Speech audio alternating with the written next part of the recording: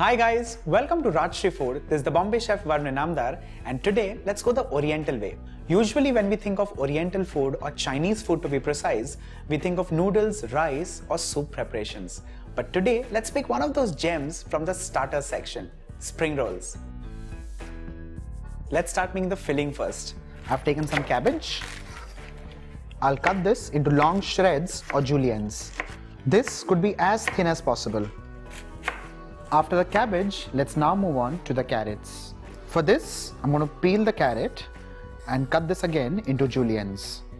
If you wish to watch juliennes of carrots along with other vegetables, you can also check a comprehensive video, the link to which is in the description box below.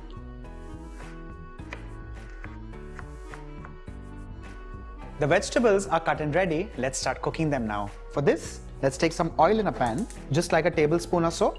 While the oil is still heating up, let's add in the carrots. To this, the cabbage follows. And along with this, the star of this recipe, bean sprouts. Let's stir fry this on high flame.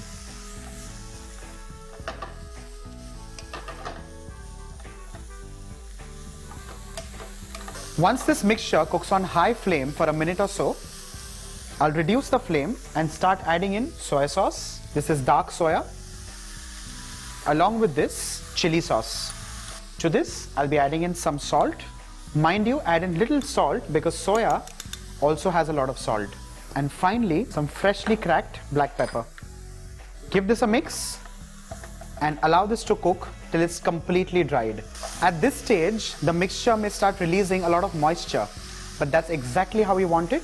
Keep stirring this and make sure the moisture dries completely.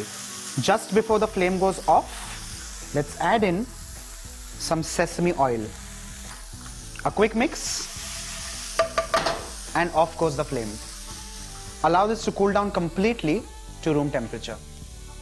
While the filling of the spring roll is cooling, let's start making an accompanying dip. And this one is sweet chili dip. I'm taking some peeled garlic. I'm going to give this a quick bash. And after that, let's start chopping this finely. This goes straight in the fry pan. This is followed by chili flakes and sugar. I'll put the flame on and add in some water.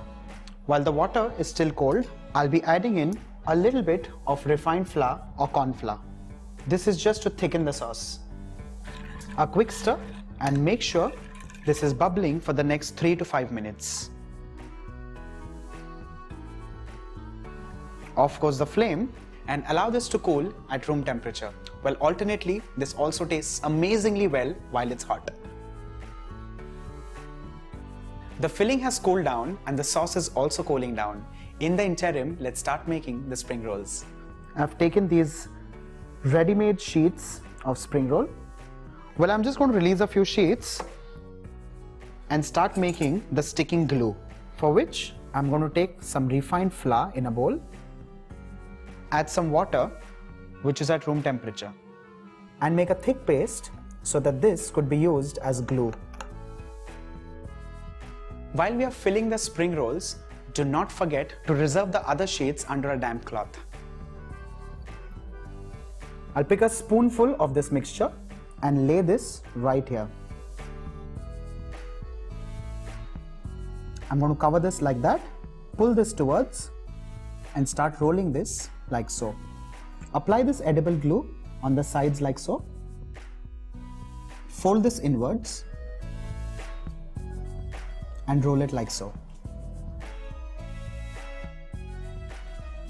Make sure the ends and edges are completely sealed. Similarly, let's start making the rest of the spring rolls.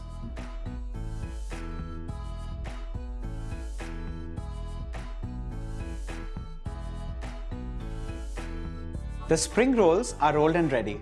Allow these to rest in the refrigerator for 15 to 20 minutes before we start frying. It's been roughly half an hour. The oil is moderately heated up. Let's start frying.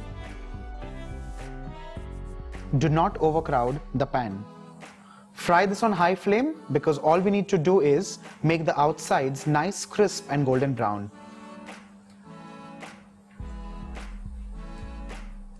The first batch is fried and ready. I'm transferring this on an absorbent tissue paper so that all the excess oil gets drained away. Similarly, let's start frying the other batch as well. The spring rolls are fried and ready. Now let's serve this with the accompanying sauce. For that, let's bring that back in action with a splash of some lemon juice. So here is your amazing starter which could also double up as a party snack. Enjoy this with your loved ones and wait for what next the Bombay chef gets into your kitchen.